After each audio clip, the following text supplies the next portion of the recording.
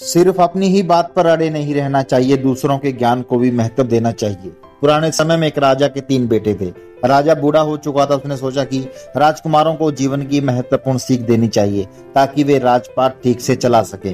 राजा ने तीनों राजकुमारों को बुलाया और कहा कि हमारे राज्य में नाशपति का कोई पेड़ नहीं है। मैं चाहता हूँ कि तुम तीनों चार चार महीने के अंतर में नाशपति पेड़ की खोज में दूसरे राज्यों में जाओ और इस फल के पेड़ की जानकारी लेकर आओ।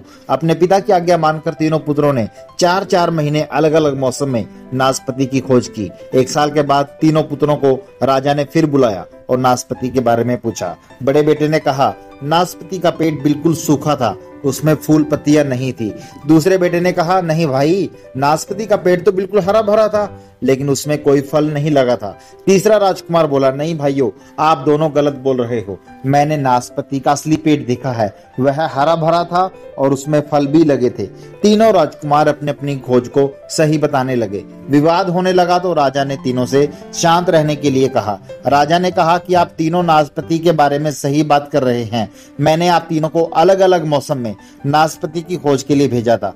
इसी वजह से तीनों ने नाशपति के पेड़ की अलग अलग अवस्था देखी है। मैं आप तीनों को इस परीक्षा से तीन बातें समझाना चाहता हूँ। पहली, अगर किसी की पूरी और सही जानकारी चाहिए तो उसके बारे में लंबे समय तक खोज करनी चाहिए।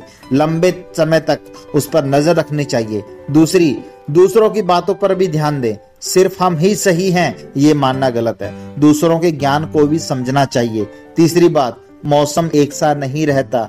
जिस तरह एक पेड़ की अलग अलग मौसम में अलग अलग व्यवस्था होती है, ठीक उसी तरह हमारे जीवन में भी सुख दुख का आना लगा रहता है। ये तीन बातें ध्यान रखोगे तो जीवन में कभी भी परेशानियों से ज़्यादा समय तक उलझे नहीं रहोगे।